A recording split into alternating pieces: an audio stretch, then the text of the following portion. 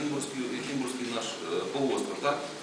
На территории Николаевской области за- на Кимбургском полуострове существует уже сейчас, уже сейчас существует биосферный заповедник, Черноморский биосферный заповедник, на терри- территории, в границы которого вошел остров Долгий, остров Курган. Это территория административной границы Николаевской области.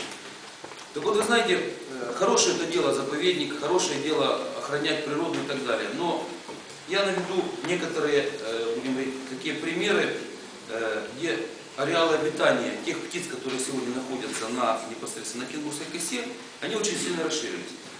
Так вот, по научному обоснованию, один день э, проживания э, черной, э, черного баклана, да, то есть его питание, от 2 до 4 килограмм рыбы в день.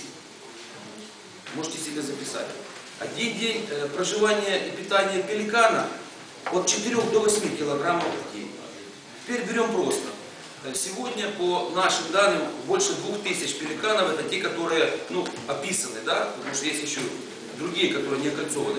А теперь возьмите, сложите.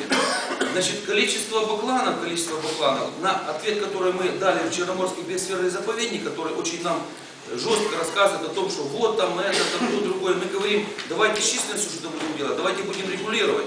А они, получая гранты с Евросоюза, увеличивают эту численность. И тот, кто живет на Кенгурской косе и э, видел там, я думаю, как бы просто находились на Кенгурской, видели деревья, которые просто засыхают. Так вот, чтобы вы просто понимали, когда баклан черный садится стая на дерево, он там будет сидеть сутки, он улетает. Дерево после этого погибает. Вот вы знаете, честно говоря, наверное, было бы правильно, чтобы наши общественные организации тоже посмотрели на эту сторону медали.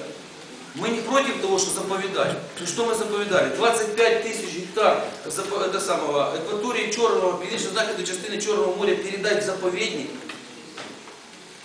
Что мы передаем? Надо что-то ж конкретное заповедать.